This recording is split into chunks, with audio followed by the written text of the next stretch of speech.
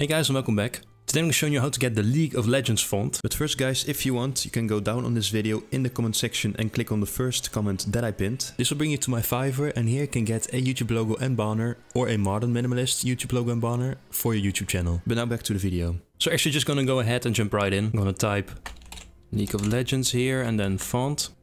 There we go. You can also do a LOL font of course as well. Now the website itself of League of Legends actually proposes you some font packs here as you can see, but they might not be the exact ones you are searching for, but they do also do the logos. So you can just go ahead and download that on their site. But they do not have like the official logo font since it's a bit customized. But what we can do is actually go ahead to this one right here. So League of Legends font da font free, which is on the font free website. Don't worry, I'll put the link in the description. And if you scroll down here, as you can see, here we have the example. And if you go down here, you can do download. Will bring us to a new page here as you can see. And once again, click here on download. And as you can see, it just went up here in the right corner. So you can just do show in folder. As you can see right here, it should go to your downloads normally. As I'm going to do then is I'm just going to double click here. And as you can see here are four font files, also known as an OTF or a TTF. And basically when you click on it, so you have to double click, you can see the example first of all here. And then you click install here. Little box will come here. Basically when the little box disappears and when this is grayed out right here, you can just close this. Just going to do the second one here. This is the italic version. It's the same thing here. I'm going to do it for the regular one. This is going to be a, a bit thinner as you can see. And then the last one right here. Just going to click it. And there you go. And now in most software, you will actually be able to use the font right now. So I'm actually going to go ahead in Photoshop and actually show you an example. So when I'm in Photoshop right here, as you can see, I'm going to go up here in the left corner. I'm going to do File and New. Now I'm going to do 920 by 1080. That's the size, the pixel size actually of thumbnails. So that's what I'm going to keep right here. Why not? I'm going to do a resolution of 300. Make sure it's on RGB color. That's very important. And I can just click OK here. I'm just going to zoom out one time here by using the little zoom tool right here. And basically I'm going to go to the text tool, obviously. So let's bring this up right here to 50. And we're actually, of course, and search for the font we just installed here. And there we go. We have it right here. Now I'm to do caps lock because as you can see, you can do it like this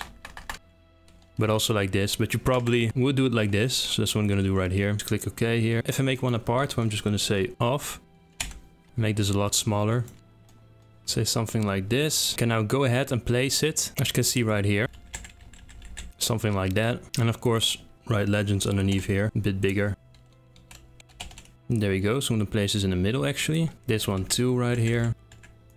As you can see here, you have a good idea of what you could do with the font. And of course also add other effects to it. If you, for example, want to do a yellow gold overlay or give it a contour, you can do that right now, but you can also just simply use it like this for a thumbnail. In any case, guys, quick tutorial here. Hope you enjoyed it. Please leave a like, would be really nice. Subscribe, also really nice. And I'll see you guys in my next video. Bye.